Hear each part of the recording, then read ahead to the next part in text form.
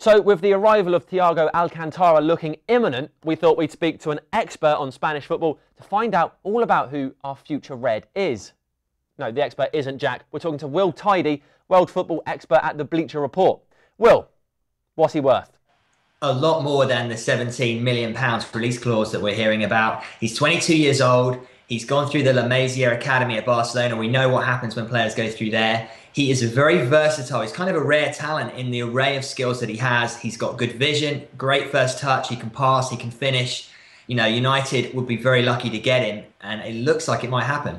Uh, who would you compare him to uh, that are playing now? I think, um, I mean, obviously the, the, the, comparison that United fans will go to uh, is Paul Scholes, who obviously is not playing now. Um, if we try and look now, it's Xavi is the one that will come up because obviously they're, they're playing there, and I think he's seen as the natural successor to him. It's a hard one because he's very mobile. He plays as a defensive midfielder and where he's stationed often, but he's capable of moving into that attacking midfielder role. He can almost do a number 10 type role. So I don't know if there's anybody like for like in the game right now in Europe that compares to him. I've seen him hit a few screamers in my time, young Thiago. Uh, what, what would you say his main strengths and weaknesses? Yeah, I think his main strength is going to be his array of distribution. His um, his completed pass number is, is very high. If you look at the stats across Europe's top leagues, he's I think just outside the top ten, which is impressive. He has very very good peripheral vision. We've seen that with Scholes. It's that ability to, to take the ball, seemingly somehow create space for yourself everywhere you are on the field, and to pick a pass. Now he can score goals. We saw that at the European Under Twenty One championships, but he's not scored a lot of goals so far in his club career with Barcelona. I think that's an area he'll probably look to develop on. I think the key area for United is be able to break the line, is to be able to be a player that sits in midfield but can break and give them, put them on the front foot essentially, which I think United have lacked a little bit with the types of players they've had in deep midfield previous season. You mentioned earlier that maybe he could take the number 10 role. There's a few reports suggesting that maybe he'll be here come in with maybe Rooney going out. Do you think that would be good business?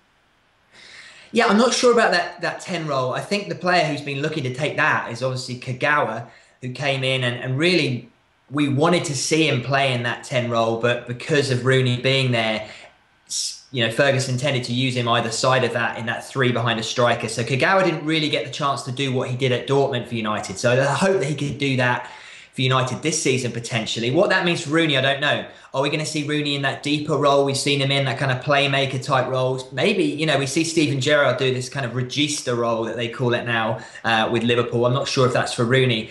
I'm still not convinced Rooney will leave United because he has to weigh up whether he's going to have better opportunities to win things at this stage in his career. You know, where's he going to go now? I, I, I think he'll probably stay.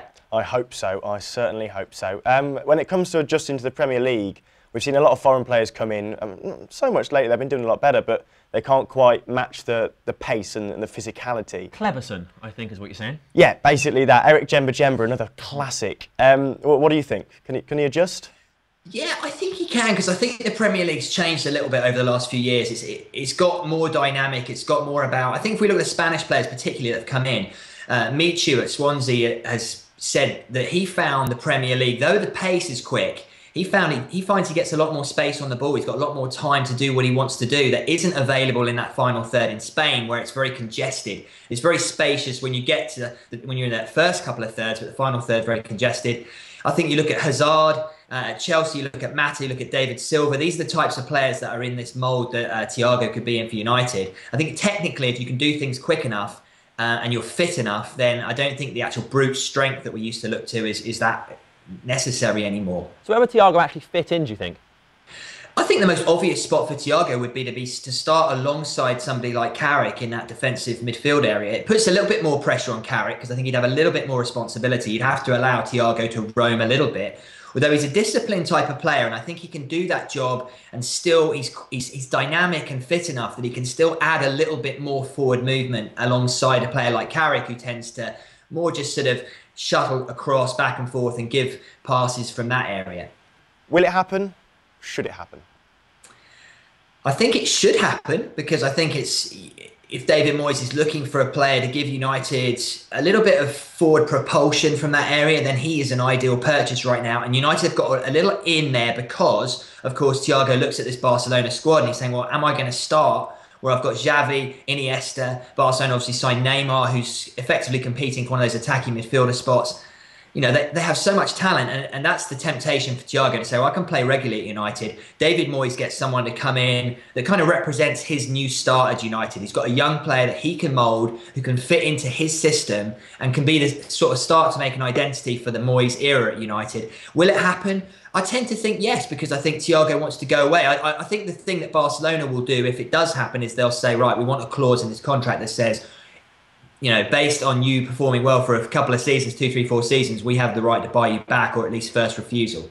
Well, that's the lowdown, basically everything you need to know about Thiago Alcantara. Will, thank you very much for your time. It's been a pleasure, and I must say, I'm very, very excited about the prospect of Thiago now. Yeah, also, I just thought of another Juan that didn't quite make it. Juan Sebastian Veron.